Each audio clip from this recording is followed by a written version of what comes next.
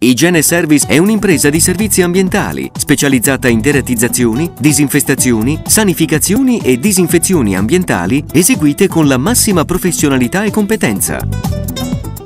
Tutto pronto per il ventiquattresimo giro podistico dell'isola d'Elba. Cinque tappe caratterizzeranno anche l'edizione di quest'anno che prenderà il via lunedì 19 dal Parco delle Terme di San Giovanni e terminerà sabato 24 maggio a Rio Marina.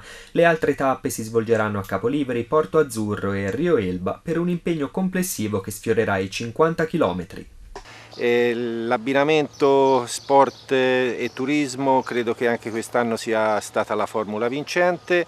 Abbiamo trovato questa collaborazione con le terme di San Giovanni e l'Hotel Airone che finalmente sembra smuovere qualcosa di interesse da parte anche dell'isola d'Elba.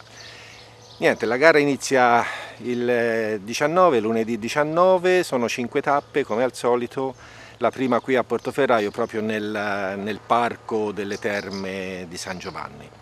La seconda tappa andiamo a Capoliveri con il monte Calamita, quindi una tappa abbastanza difficoltosa.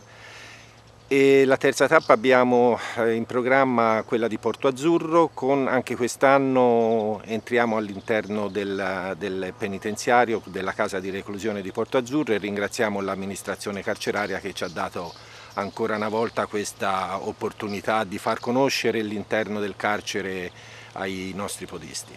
Poi abbiamo il giorno di riposo, la tipica tappa, il tappone di Rio Elba con la salita delle panche, quindi una, una gara abbastanza tosta dal punto di vista impegnativo e la chiusura a Rio Marina sabato prossimo con le premiazioni nel pomeriggio e poi la festa finale della sera.